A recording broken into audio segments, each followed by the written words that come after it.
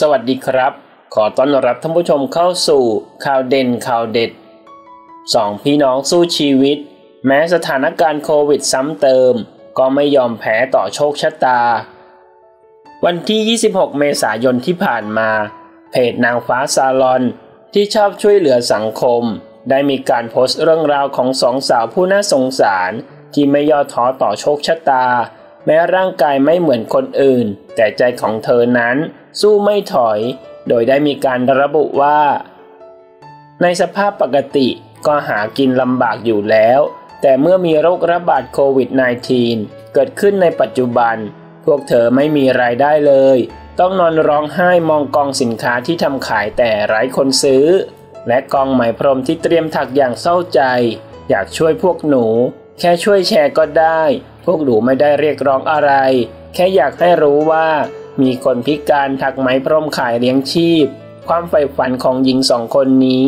พวกเธออยากมีขาสวยๆ และเดินได้เหมือนกับคนอื่นๆ วันนี้นางฟ้าซาลอนเดินทางมาที่จังหวัดยะโสธรเพื่อมาเยี่ยมผู้หญิงสองพี่น้องนี้ คนโตเธอชื่อว่า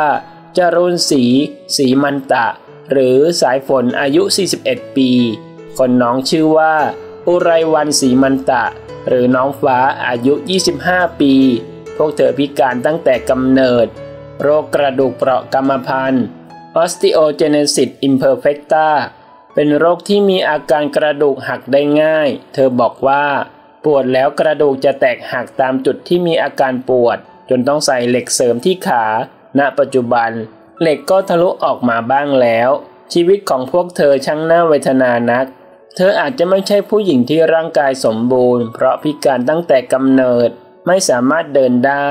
ร่างกายผิดรูป เธอใช้ชีวิตด้วยการคลานหรือการถัดก้น และความฝันที่เธอ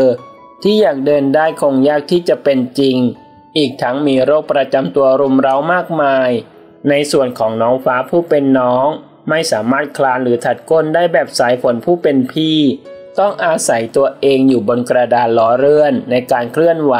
เพราะกระดูกผุและหักง่าย พวกเธอน่าสงสารมากๆ ต้องเจออุปสรรคมากมายในการดำรงชีวิต แต่พวกเธอก็ไม่ย่อท้อต่อความยากลำบากสองพี่น้องมีรายได้เล็กน้อยจากการถักหมวกและพวงกุญแจไหมพรมขายทำให้รายได้มีเพียงน้อยนิดแค่พอกินพอใช้ไปวันๆ โดยสายฝนพี่คนโต ได้ไปทำมาหากิน ด้วยการถักไหมพรม และจำหน่ายที่มหาวิทยาลัยจุฬาลงกรณราชวิทยาลัยอำเภอวังน้อยจังหวัดอยุธยา ส่วนคนน้องเดิมทีอยู่ที่บ้านเกิดจังหวัดยะโสธร แต่ปัจจุบันได้มาช่วยพี่สาวถักไหมพรมด้วยกัน โดยชาวบ้านอยู่ในตำบลลำไซอำเภอวังน้อย จังหวัดอยุธยา ใกล้ๆและสะดวกเวลาไปขายของ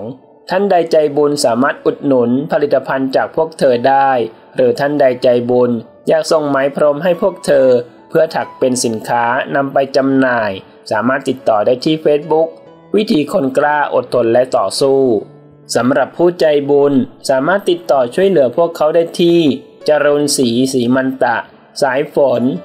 229 หมู่ 3 ตำบลหนองหิน อำเภอเมืองจังหวัดยะโสธร 35000 จรุนศรีศรีมันตะ สายฝน